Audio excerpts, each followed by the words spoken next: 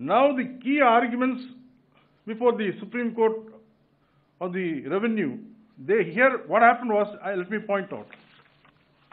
In the Bombay High Court, when I argued, I, I did not actually seek to challenge the correctness of the structure or the legitimacy of the structure, and nor I sought to challenge the uh, correctness of the judgment of the Supreme Court in Azadi Bachao, because naturally High Court can't go into the correctness of Azadi Bachao.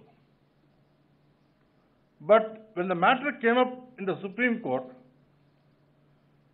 my learned uh, seniors, the then Solicitor General, now a Supreme Court judge, thought it fit that he should go into larger canvas and uh, started to put it before the Supreme Court that uh, the structure itself was designed because you saw the Cayman Island Company was incorporated only in 2008 and also questioned the correctness of Azadi.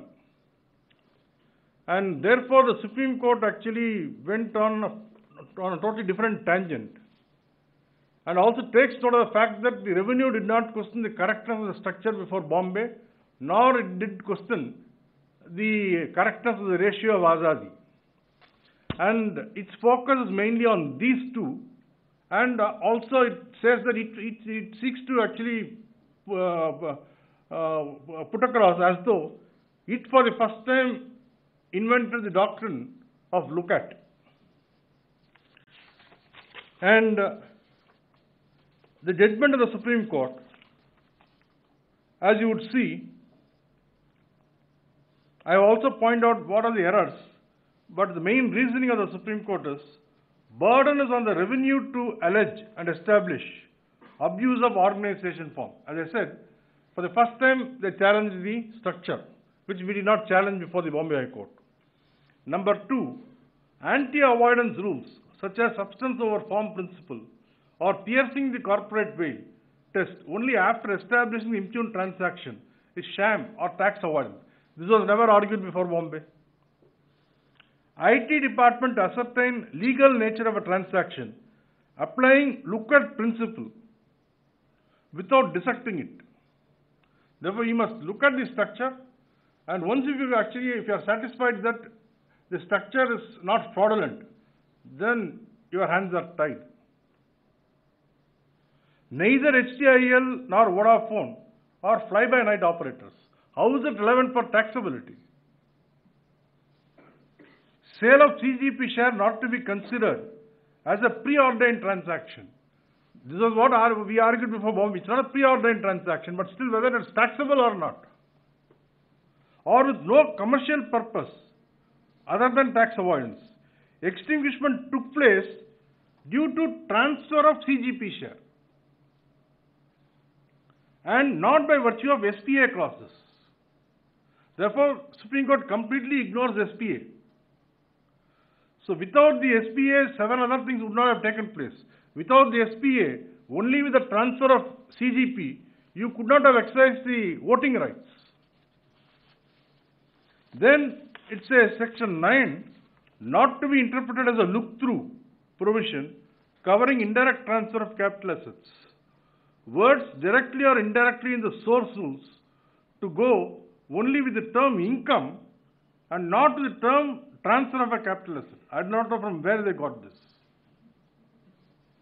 Legal fiction has limited scope and cannot be expanded by giving it a purposive interpretation. Then another most crucial thing is Justice Kapadia has made this mistake repeatedly. He re refers to the DTC provision which wanted to bring in this new element where you could actually tax indirect transfers only when a capital asset is also situated in a particular country. In a Vodafone case, not merely a share transfer sh should have taken place, there should have also been transfer of a property of at least 50%, immovable property. That, that was found in the DTC. Therefore, he relies upon the direct tax code which was stillborn. And he says DTC provision specifically provides, provides for indirect transfer, which is absent in the IT Act. Now DTC is now buried.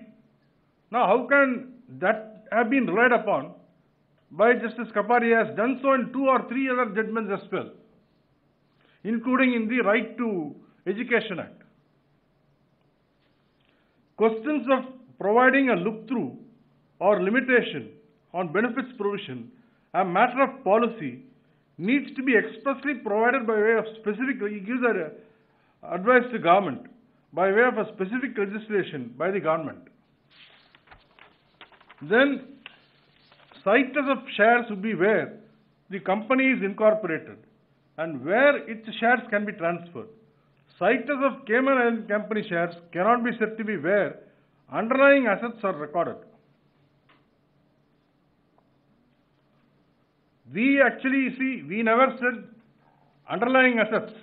We only said subject matter of the transaction. Controlling interest incident to ownership of shares, not an identifiable or distinct capital asset independent of holding of shares. Controlling interest transferred to Vodafone from HTIL accompany CGP share transfer and cannot be dissected. Revenue cannot split the consideration and consider part payment for various rights. Here actually he has adverted this because Bombay High Court said, because we argued that some portions are in India at best, some were outside. They said while the department reconsidering the question of fixing the valuation can also consider apportionment.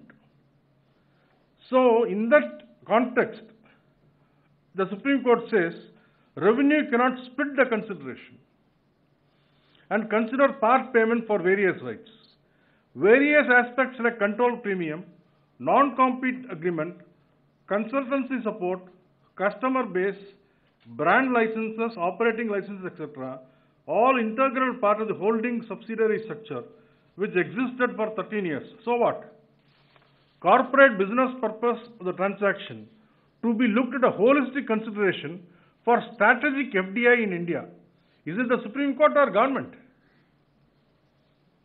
Factors to be determined, substance, participation in investment, duration of time, period for which the holding structure exists, the period of business operation in India, generation of taxable revenues in India, timing of exit.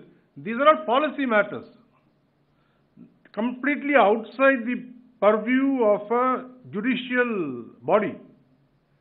These were sought to be disregarded by the GAAR provisions introduced in the Finance Act 2012. Interposition of CGP in the structure only to avoid tax can be disregarded at the threshold only. Then the concurring judgment went even further. It actually showered praises on Vodafone, no? Vodafone was not required to deduct tax under section 195. Case in hand is an eye-opener of what we lack in our regulatory laws. Entire arrangement made by HTIL and Vodafone was a sound commercial and legitimate tax planning and not with a motive to evade tax. Source in relation to an income has been construed to be where the transaction of sale takes place and not where the item value, which was the subject matter of transaction, was acquired or derived. Where is the item value? I don't know. The demand of nearly 12,000 crores by way of capital gains tax, in my view, would amount to imposing capital punishment of capital investment since it lacks authority of law. Some, I think, first year law college student was undergoing internship asked me, so how is the Supreme Court three judges, Bombay Court two plus two, but still you won, no? Four. And when it's not the department, two high courts we succeeded, Supreme Court says it's a imposing capital punishment. The high, the high courts impose capital punishment for this and they say it's actually a tax terrorism.